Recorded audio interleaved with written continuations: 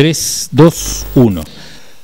Hace mucho tiempo que estábamos en esta etapa de generar eh, entrevistas que tengan que ver también con la memoria histórica, con, con, el resguardo histórico de la clase trabajadora, nuestros héroes, nuestras heroínas de la clase trabajadora, que de alguna manera también ha sido la premisa de este humilde espacio desde hace casi 15 años, que es en el medio de las coyunturas o los temas eh, históricos de rampante actualidad, también eh, eh, utilizar nuestro espacio como un arsenal de ideas. bueno, hablando un poco de la batalla de las ideas que siempre nos impulsó. y en ese aspecto, hace mucho tiempo que estamos buscando la posibilidad de entrevistar a Jorge Salauru, un eh, legendario militante sindical neuquino, también fundador de uno de los gremios más convocantes y movilizadores de la sociedad neuquina, que es el sindicato de las maestras y los maestros, eh, y en algún punto también es un resguardo de la memoria histórica de lucha en la dictadura, este, porque precisamente este andar fue significativo en los últimos momentos de, este, de la dictadura, no por ello menos peligroso, estamos hablando previo a la guerra de Malvinas. Todo eso después del eh, arranque de nuestro programa, sean bienvenidos a otro nuevo Cartago.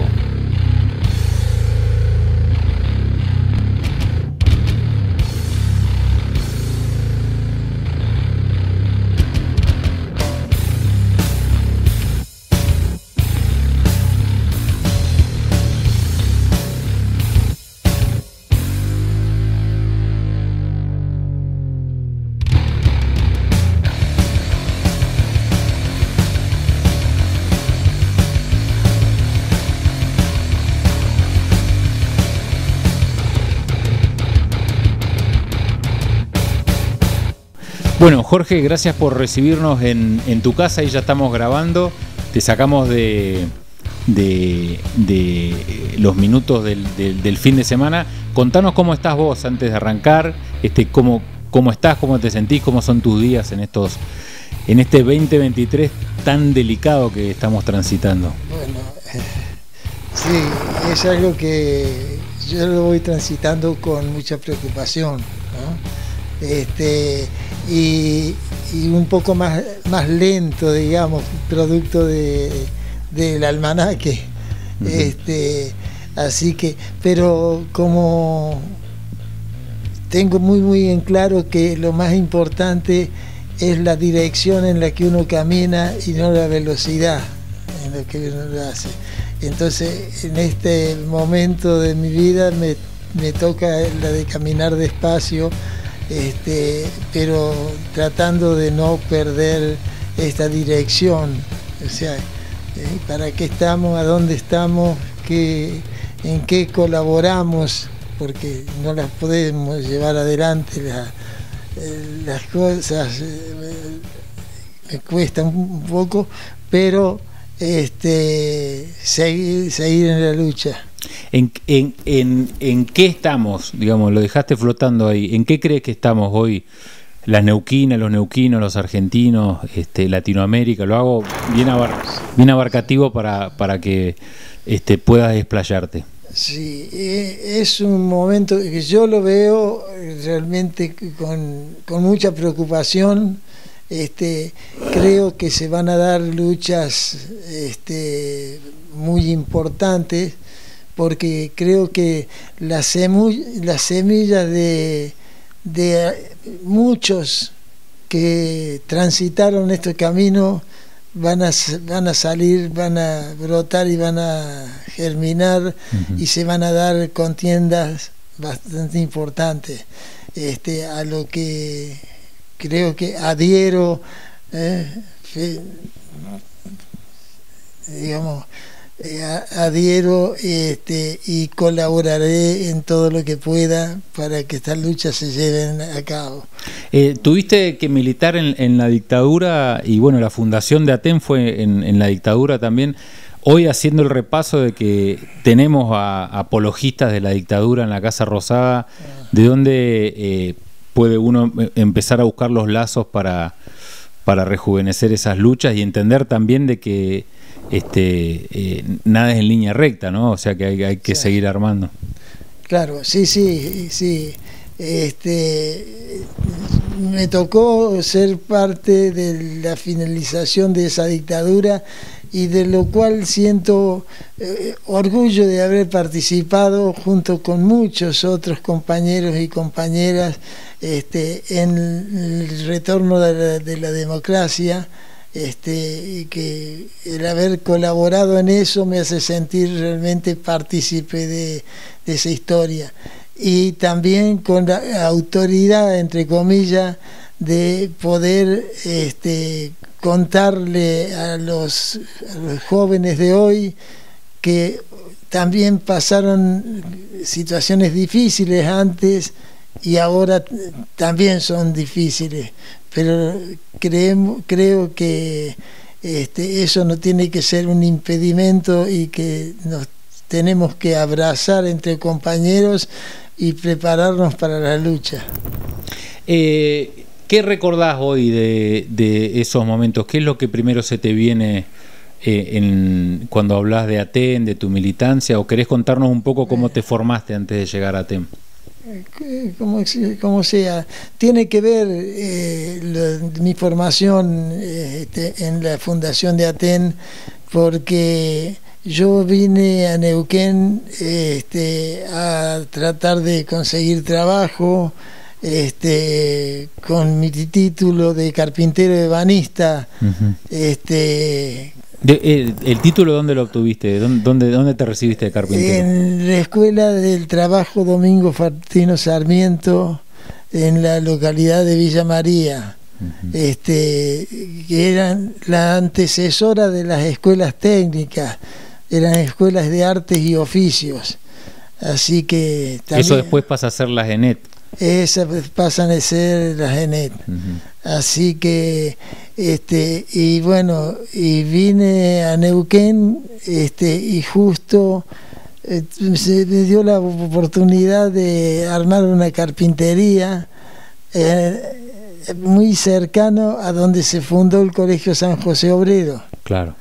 Entonces, este tuve la oportunidad esta de, acercarme al padre Gregui, que fue el fundador de la escuela, este, así que, y bueno, empecé, este, digamos, empecé a hacer unas horas de, clase allí. ¿Cuántos este, años tenías, te acordás? Yo tenía en ese momento 22, 23 años. Un nene. Y sí, sí, y ni remotamente pensaba en, dar clase, trabajar en una escuela. No, para nada. Mi objetivo era conseguir trabajo y nada más. ¿eh? Así que, este, y bueno, se me dio esta oportunidad y tiene que ver con mi formación desde allí, porque allí se sintetizaba el trabajo humano y se sintetizaba también la línea política, llamémosle así, de la Iglesia Católica en ese momento con la nueva Iglesia, este, los documentos de Medellín, Puebla, este, que eran la renovación de la iglesia. Y qué casualidad que mirando esos documentos, eh, tratando de llevarlo adelante, me encuentro con la figura de Jaime de Nevares, que eh, propiciaba la lectura y el compromiso de los cristianos en la iglesia. ¿A Jaime lo conociste en esa época o más adelante? No, no, en esa época. ¿Apenas llegaste ya al, tiempito? Al, poquito tiempo, este... ¿Te acordás quién gobernaba en, el país que alguna dictadura habría, seguramente? Sí, pero no, ni lo tengo presente porque no me interesaba en quién era, pero sí me interesaba la síntesis que se hacía en la escuela del trabajo. Ajá que eso tenía que llevar a la dignidad del trabajador y que los documentos de la iglesia en ese momento decían que entre el, trabajo y el, capital era más importante el, trabajo. Entonces, ante la disyuntiva que había de la puja de, por el, trabajo y el capital, yo optaba acompañar a los, a los que llevaban adelante el trabajo humano. Así que eso me, impactó mucho en mi formación y más en, aquel momento eh, estaba, se daban las luchas de los años 70, 69, 70, 69 con lo del choconazo, este, y bueno, y ahí fue donde veo la posición política de Jaime de Nevares eh, ante la huelga del Chocón.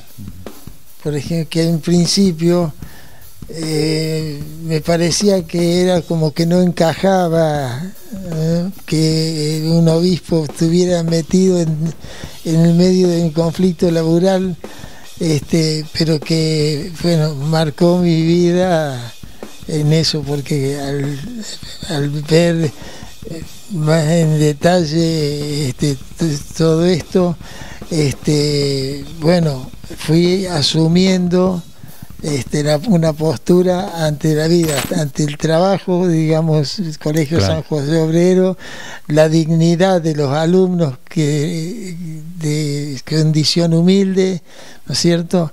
Este, y bueno, las vicisitudes que pasaban los trabajadores en ese momento. ¿Eso te ayudó, o sea, te impulsó tu crecimiento ideológico y tu crecimiento este, político? Y en términos organizativos, este, eh, te propongo un salto. ¿Cómo, ¿Cómo van armando la idea de un, sindicato docente? Bueno, yo empiezo a trabajar en el Colegio San José Obrero al, en el año 71.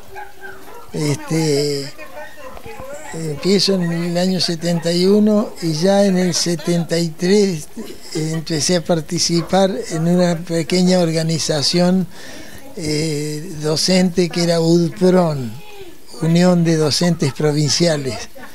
Entonces, eh, y en el año 70 y 74 ya, ya fui este, secretario de, de UDPRON. En el 74. En el 74. Y eh, ahí es donde, bueno, ya ahí viene después la época, ¿no? Viene mm, eh, al, poquito tiempo ya la dictadura y, eso cómo, cómo te agarró, cómo, cómo fueron esos momentos. Bueno, fueron momentos difíciles en el sentido este de que este, comenzamos a vislumbrar las épocas peligrosas del sindicato. Este, así que eh, tal es así que con el golpe militar del, 76 fue, eh, digamos, un... ¿Lo, esperabas el golpe? ¿Usted qué te acordás de eso? No. ¿No se esperaba el golpe? No, no, no, no. Y, y, eso que íbamos teniendo noticias de las cosas que iban pasando, porque como participaba en las, en las reuniones de iglesia eh, con, don Jaime, entonces esta situación la íbamos eh, entendiendo cómo, cómo estaba y cómo se venía, pero nunca pensé que era eh, tan grave, porque era una situación difícil de, lucha por los pero, no vislumbrábamos la magnitud de esto, sabíamos que desaparecía gente, es más, eh, en ese momento eh, estaba de ministro de gobierno, el doctor Natali, un abogado del PJ, y que él me avisó de que estaban levantando sindicalistas y que los estaban llevando a, alta mar. Entonces que me cuidara, ¿eh? porque era distinto el sindicato, el sindicalismo de aquel momento de ahora. Así que... ¿Eso fue la misma noche del golpe? No, antes. Antes ya te dijo que... Antes de que me cuidara, porque que había entrado la ficha mía eh, a casa de gobierno, así que, pero no lo, no lo dimensionábamos que pasaba. Después fue en los primeros días del, del 76, este, me llaman eh, al colegio, atendió el cura Gregui y que fuera a una reunión que tenía que ir, que se daba en la universidad, y en la universidad que recién, recién era inaugurada la, Universidad de Neuquén. Claro. Este, 76. 76. Y este, me, invitan, entre comillas, y ya estaba eh, tomado, ya estaba el, golpe consumado. consumado y, y en esa reunión en la universidad, ahí sentí que empezaba una cuestión mucho más grave que eran esos primeros días del 76. este, porque eh, en esa reunión eh, un, un, jefe militar, porque la universidad estaba tomada en ese momento. Entonces, por eso la reunión en la universidad. este, y en esa reunión un, alto oficial, era, no sé qué, qué, graduación era, pero tenía metida los huevos fritos, le decíamos la, graduación militar. Este, y en esa, en esa reunión seríamos unos 20 o 30 militantes este, donde nos hicieron sentar a lo largo de una mesa todo esto y nos viene el tipo una cosa que fue medio espeluznante ese tipo se sienta en la punta de la mesa y este, se sienta y se encuentra medio incómodo al sentarse entonces se levanta la chaqueta y saca una pistola y la pone arriba de la mesa con la gorra ahí. Ya eh, esa figura nomás. Una, fue una presentación, ¿no? Una presentación y para que quedara claro, como lo dijo después, se, terminó la actividad sindical. ¿eh? Queda entendido, o sea, no sé cuánto más eh, habló de todo esto, pero nos quedó claro que era con aviso la cuestión. Así que, este, eh, bueno. A, partir de ese momento, bueno, arranca toda la maquinaria, ¿no? Eh, y en esos, en esos primeros días, ¿qué, fue la, la postura? ¿Resguardarse, avisar? bueno, se desarticuló totalmente.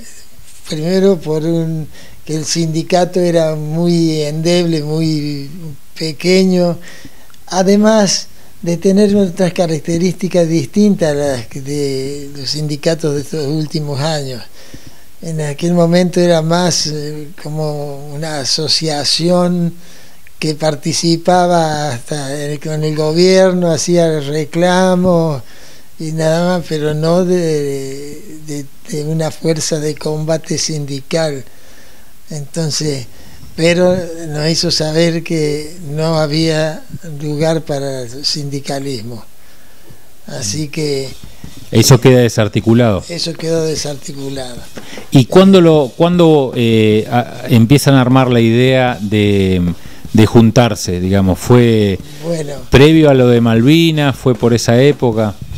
Sí, para lo de Malvinas nosotros ya estábamos organizados en el nuevo eh, Aten. Ya existía Aten. Ya, eh, eh, digamos, Aten se fundó en el, en el 81. Entonces, casi dos años después, lo de Malvinas. Así que, este, en el, año, en el año 81 Sucede que Jaime de Nevares se le ocurre salir a festejar los, eh, los 20 años de la diócesis. Él había llegado a Neuquén en el año 61, eh, al 81 a festejar. Y para festejar iba a ser una evaluación de su actividad pastoral. Bueno, y ahí yo participé en un grupo donde se, se, estaba preparando la asamblea, la asamblea diocesana. Así que, y se reunió con, con trabajadores por un lado, con docentes por otro, por este, con estudiantes, todo eso y bueno, con Aten se reunió el 28 de agosto del 81. Entonces, eh, en esa fecha, y resulta en esa reunión que se hizo en el Colegio María Auxiliadora, este, eh, nos preguntaba eh, qué, necesitábamos, qué nos faltaba los sindicatos y ahí salíamos todos con las quejas que no nos podíamos reunir en ningún lado, estaba prohibido y todo esto. Y entonces Jaime dice, bueno, pero es una cuestión de espacio. Y, decíamos que sí porque no nos prestaban ninguna escuela, nada, para reunirnos. Entonces, y dice él, y si es una cuestión de espacio, entonces, bueno, eh, tienen la iglesia, la escuela católica, este, para que puedan llevar a cabo su actividad. Cosa que nos abrió una puerta y ahí empezamos a hacer las reuniones en mi colegio San José Obrero los días sábados y ahí se fue gestando Aten, Contame por qué se llama Asociación de Trabajadores, o sea, ¿por qué eligen ese nombre? Bueno, eso fue una polémica eh, en esos días, porque eh, discutíamos si es que iban a ser un sindicato, un ateneo, un, decíamos, no sabíamos qué, pero que teníamos que reunirnos entonces, y ahí la discusión esa tuvo mayor eh, aceptación la del sindicato. Entonces, eh, por eso se dispuso asociación de trabajadores de la educación. Pero además de, de esto, es un concepto... Claro, ahí va. ¿Cuál es el concepto? El concepto es que todos tenemos que participar del, hecho educativo, porque el docente trabajaba como docente, pero además estaba construyendo un modelo de sociedad con su enseñanza. Entonces, y de ahí, entonces por eso incorporamos los porteros, los administrativos, este, había no docentes, todo eso se nucleaba en, el mismo sindicato. O sea que originalmente los porteros estaban dentro de... Sí, sí, sí, sí, los porteros, los técnicos administrativos del consejo, todos se incluían en este, en este nuevo sindicato. Que sería la asociación. La asociación. Y de trabajadores, no un concepto de docentes, sino de trabajadores. Claro. Claro. Pero además... Están todos en la misma línea alargada. En el estatuto dice que eh, integran eh, a TEN eh, todos aquellos que desarrollen una tarea en el sistema educativo, ya sea nacional, provincial o municipal. Lo incluye todo. O sea, ¿por qué? Porque entendíamos que el sindicato tiene ese rol político, además del reivindicativo. Así que de ahí surgió esto. Cosa de que hubo polémicas, todo y bueno, y como está el, el mueble acá, de acá demuestra que eh, yo era carpintero. Claro, ¿cómo, un carpintero dirige un sindicato de maestros? Claro, de, docente. De docente. Claro. el concepto entonces es la unión de todo aquel que ejerce la labor docente, de incluso de aquellos que uno vería en el, como un administrativo o como un portero. Eso no solamente es, muy innovador, sino es muy adelantado también a la... Sobre todo por el modelo la CGT que no tiene nada que ver con eso. Claro, claro. Por eso es que eh, costó bastante y en cada asamblea que hacíamos la definición esta, ¿no? inclusive más, cuando la, la CETERA siguió funcionando con a media máquina, digamos, en el orden nacional, este, teníamos disputa con nosotros por la cuestión de la definición de trabajadores, porque...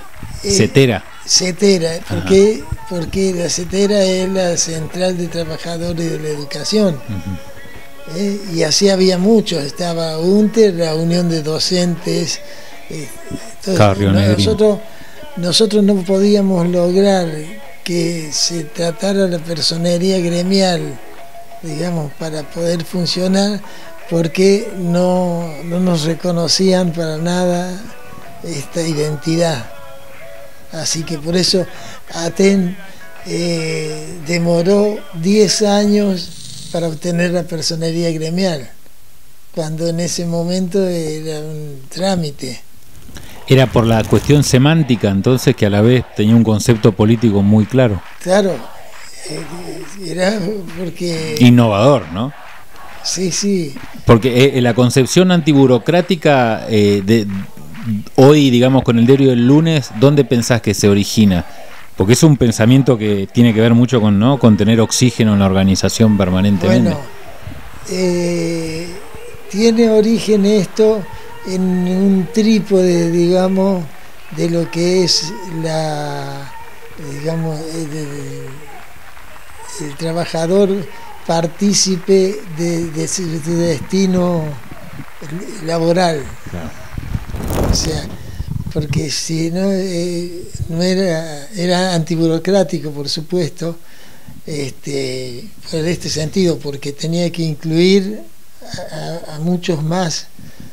¿Eh? Así que de, ahí surge bueno la idea y, ustedes van, van montando el sindicato. Y contame eso de, de, las de que eh, se elige cada dos años, ¿de dónde sale esa idea?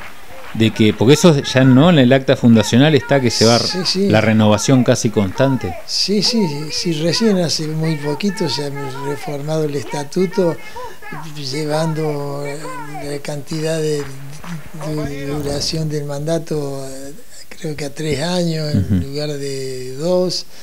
Este, pero la idea es que fuese eh, democrático, sindicato democrático, eh, sindicato de gremio único. Tal es así que este, muchos compañeros que ocuparon cargos en la estructura gremial no eran docentes eran, eran administrativos, técnicos, este, así que, digamos, se los incluía. Pero lo que repito con, con la cuestión de que costaba mucho, porque había otro sindicato que quedaba que era la UDA, que era la Unión de Docentes. ¿Acá en Neuquén? No, eh, era un, un, sindicato nacional. Ah, mira. Pero que. Eh, UDA. UDA, de Unión de Docentes. Argentinos, agremiados. Argentino, de Unión de Docentes Argentinos. Pero nunca pudo ganarnos. Eh, nosotros eh, fuimos llevando la, el armado de la organización y con eso, digamos, lo, les ganamos en, en esa puja. Uh -huh. ¿no? Así que y lo fuimos incorporando. Así que. ¿Cómo, eh, ¿Qué recordás de las primeras huelgas ya en la era constitucional? Había muchos aprietes, al, MPN no le gustaba ver a los maestros organizándose. Recuerdo que en el Colegio San José Obrero yo era jefe general de enseñanza práctica y yo tenía que hacer funcionar todo el área de carpintería. Entonces cuando teníamos alguna medida de fuerza, entonces yo me, me paraba en la puerta del, de la carpintería en, y le entregaba la llave a quien quisiera trabajar para que se hiciera cargo. ¿eh? Y eh, entonces muchas veces y en muchas escuelas pasaba esto, que estábamos absolutamente muy solos en la confrontación esto, hasta que eh, fuimos logrando la incorporación, así que, y lo que en el estatuto de Aten figuraba como cuatro delegaciones en su funcionamiento orgánico, en muy poquito tiempo se fueron multiplicando las seccionales porque no aceptábamos en ningún lado de que le impusiéramos eh, algún delegado o algún este, representante, porque eh, las delegaciones tenían que funcionar con la asamblea de los propios eh, claro, los propios afiliados. Así que demoró bastante y ya en este tiempo hay 22